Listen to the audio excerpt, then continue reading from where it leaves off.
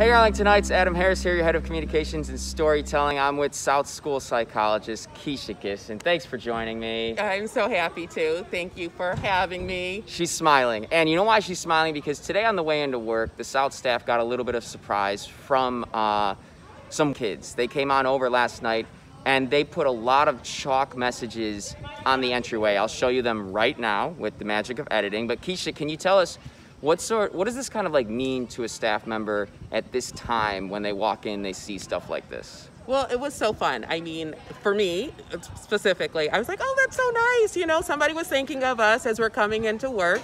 Um, I haven't talked to anyone about that specifically this morning, but I think as a rule, it's like, oh, we always love to see that students and, you know, sometimes like the PTA has done it. And it's like, it's so nice to see that others are thinking of us.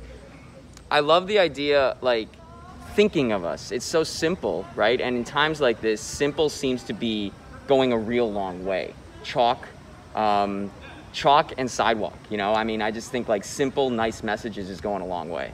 Yeah, for sure. I mean, just a note, sometimes a phone call, sometimes just kind of a, you know, hey, elbow bump, it's good to see you. I, that's huge.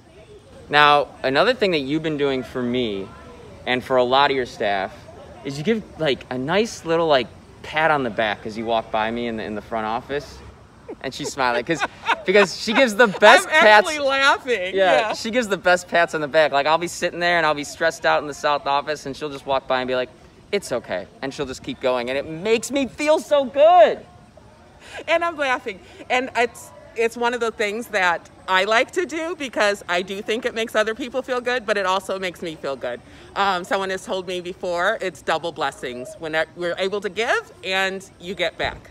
All right, well, um, in these, you know, I, I just wish I could. I wish I could ask for one right now, but we I got know. we got to stay we got to stay separate. Elbow bump. Elbow, boom.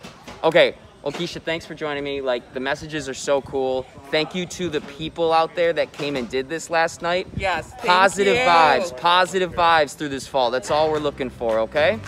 All right, that's it. All right, thanks, Adam. Bye. Bye.